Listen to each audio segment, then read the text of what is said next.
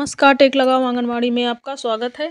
चलिए हम बेनिफिशरीज में एक गर्भवती महिला का पंजीकरण करने जा रहे हैं तो देखिए आप किस तरह हम पंजीकरण करते हैं। चैनल को सब्सक्राइब करके वीडियो को लाइक करें एवं अपने व्हाट्सएप ग्रुप में ज़रूर शेयर कर लें। ट्वेंटी पॉइंट टू का ये नया अपडेट है, इसमें हमें पंजीकरण कैसे करना है तो सबसे पहले हमें पोषण ट्रैकर ओपन कर लेना है। यहाँ पे आपको बेनिफिशरीज पे जाना है। अब यहाँ पे आपको देखना है कि यहाँ पे प्रेग्नेंट वुमेन का गर्भवती महिला का पंजीकृत करना है, यहाँ पे लैक्टेटिंग मदर का पंजीकृत करना है। लैक्टेटिंग मदर को पंजीकृत करना है, यहाँ पे ज़ीरो से छः मंथ के बच्चे और यहाँ छः माह से तीन वर्ष के बच्चे और यहाँ पे तीन से छः वर्ष के बच्चे। तो जैसे कि आपको पता है, यहाँ पे जब गर्भवती पंजीकृत करती हैं, उसके लिए डिलीवरी आप नहीं करती हैं, नाम ऑटोमेटिक सब हटता चला जाता है। नहीं तो माइग्रेट आपको करना पड़ेगा इसके लिए। जब माइग्रेट करेंगी तो टाइम से तो वो इसमें आ जाएगा नाम हट के वहाँ से। अब अगर माइग्रेट नहीं करेंगी तो नाम वो डिलीट हो जाएगा, नौ माह के बाद उसका नाम ऑटोमेटिक हट जाएगा। तो इसमें बहुत दिक्कत होती है, फिर हमें रजिस्टर ढूंढना पड़ता है नाम उसका। उसके बाद फिर यहाँ पे लैक्टेटिंग मदर है। अगर लैक्टेटिंग मदर में उसकी छः मंथ की हो गया है, बच्चा उसका छः मंथ का हो गया है, अगर आप इसमें नहीं पंजीकृत करते हैं छः मंथ तक तो उसका नाम भी हट जाएगा। तो छः मंथ के बच्चे, आप इसमें ज़ीरो सिक्स मंथ के हैं, बच्चे के नाम सहित इसमें पंजीकृत करना है।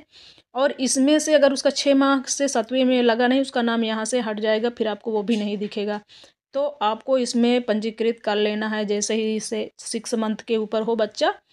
और इसमें से जब नाम वो तीन वर्ष का उसका पूरा होता है डेट तो वो ऑटोमेटिक तीन से छः वर्ष में आ जाता है।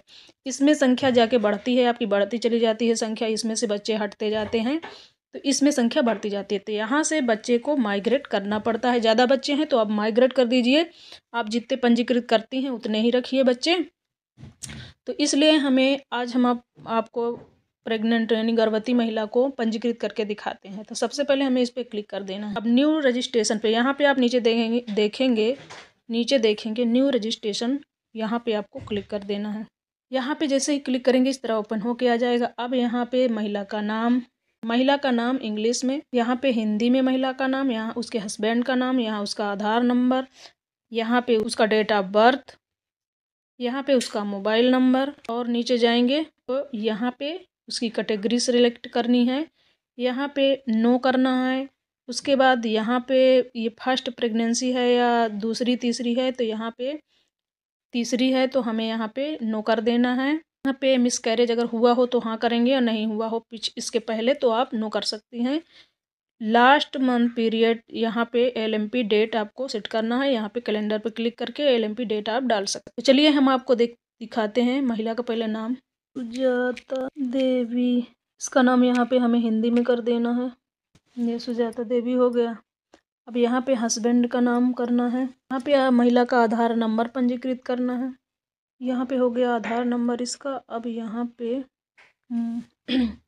डेट ऑफ़ बर्थ इसका डालना है। यहाँ पे हम मोबाइल नंबर डाल देते हैं। यहाँ पे मोबाइल नंबर हो गया। अब यहाँ से हमें कैटेगरी से सिलेक्ट करना है। एस है।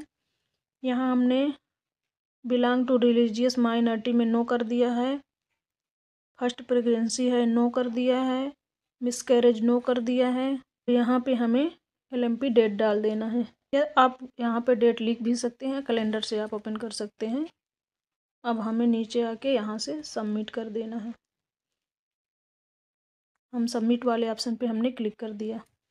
देखिए यहाँ पे सक्सेस हो गया। Beneficiaries count creation in progress. Go to home. अब हमें यहाँ नीचे ये गो टू होम वाले ऑप्शन पे क्लिक करके वहाँ फिर पहुँच जाना है। बेनिफिशरीज फिर क्लिक करना है। अब देखिए यहाँ पे नाम अपडेट हो रहा है। ये अब यहाँ पे देखिए, अभी वेरीफाई नहीं हुआ वेरीफाई यहाँ पे दिख रहा है। तो हमें वेरीफाई करने के लिए महिला के नाम पे यहाँ पे हमें टच करना है। वेरीफाई करने के लिए शायद कुछ टाइम लेगा, अभी वेरीफाई नहीं हो रहा है। इसलिए अभी ये खुल नहीं रहा। तो इसे वेरीफाई करने के लिए हमें शायद अगले दिन हो या कुछ घंटे में हो या कुछ समय बाद हो सकता है वेरीफाई तो हमें इसके नाम पे टच करेंगे, वहाँ पे वेरीफाई का ऑप्शन आ गया, आधार वेरीफाई कर लेना है। हम वेरीफाई करेंगे तो उसके नाम को तो हम वीडियो अलग बना के दिखा देंगे। आज के लिए बस इतना ही कि एक हमने पंजीकरण कर लिया है। देखने के लिए धन्यवाद।